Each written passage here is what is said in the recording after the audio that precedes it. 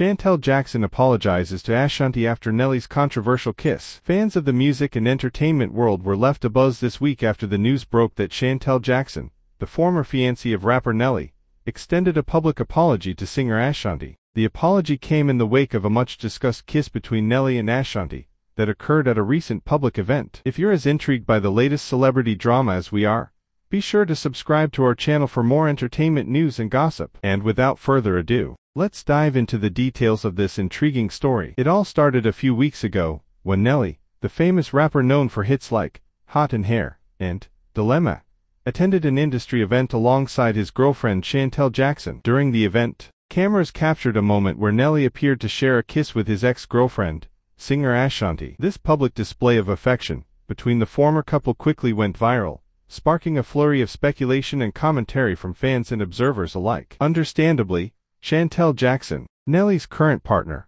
was not pleased to see this interaction. As the news spread, Shantel felt compelled to address the situation and extend an apology to Ashanti. In a statement released to the press, Shantel said, I want to apologize to Ashanti for the recent incident involving Nelly. As his girlfriend, I know how important it is to maintain boundaries and respect in a relationship. The kiss was inappropriate and disrespectful to both Ashanti and myself. I take full responsibility for my actions, and I hope that Ashanti and I can move forward in a spirit of understanding. Shantel's apology was a bold and mature move, acknowledging the pain and discomfort that her partner's actions must have caused Ashanti. As fans of both women, we can appreciate the grace and composure with which Shantel handled the situation. It's easy to imagine the hurt and betrayal Ashanti must have felt in that moment, seeing her former partner embrace another woman so publicly. Shantel's willingness to take accountability and make amends speaks volumes about her character. Of course, the story doesn't end there. Ashanti has not yet publicly responded to Shantel's apology,